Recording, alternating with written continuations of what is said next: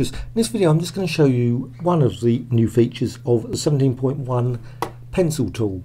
There's been quite a few changes to the pencil tool as well as direct selection and others. But uh, one nice thing you might have uses for, basically you can obviously now, it's got an improved pen tool. I actually really like the new pen tool. It's actually very nice for drawing lines now.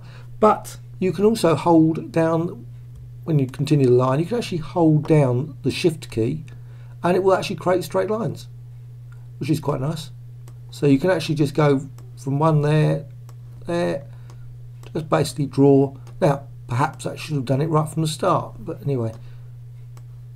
It's a nice little addition uh, it makes it very quick and easy to draw interesting if not straight line designs. Of course early versions if you actually do it and you hold the shift down it doesn't particularly do anything much. So now, great new feature in 17.1 version of Illustrator.